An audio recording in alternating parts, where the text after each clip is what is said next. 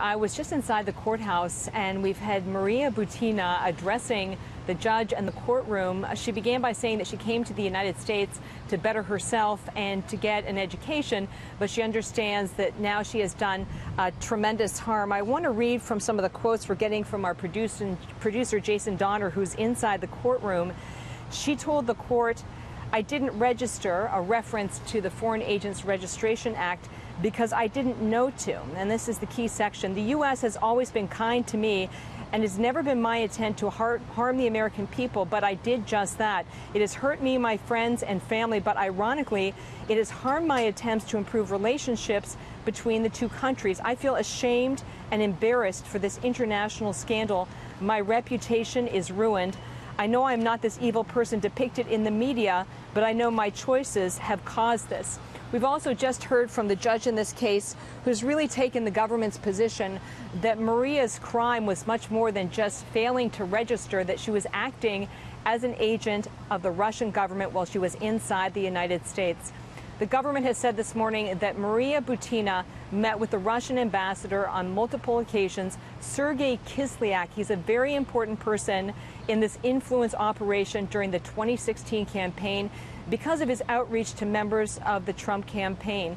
What the court was told today is that Maria Butina promised the Russian ambassador that she would collect the contact information of prominent conservatives and that this information, she understood, would go back to the Russian government.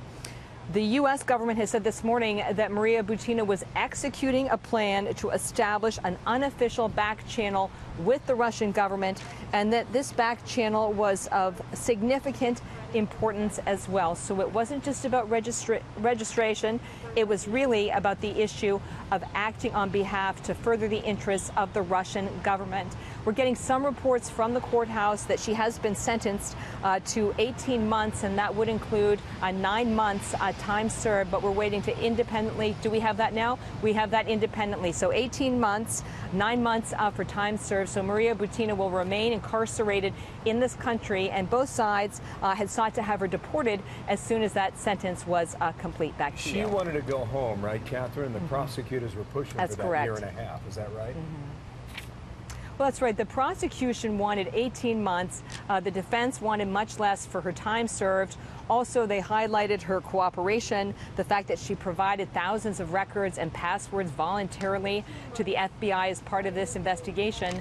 And they said that she had always been forthright with investigators. But the judge in this case has not accepted that Maria Butina was in the United States simply to build a better relationship between the U.S. and Russia and that her enthusiasm for gun rights was genuine, that in, in effect, as the government maintained, it was part of this effort to infiltrate the NRA as well as pro prominent conservatives in this country. So 18 months. She gets credit for nine months that she's already served, and both parties had sought deportation once the sentence was complete.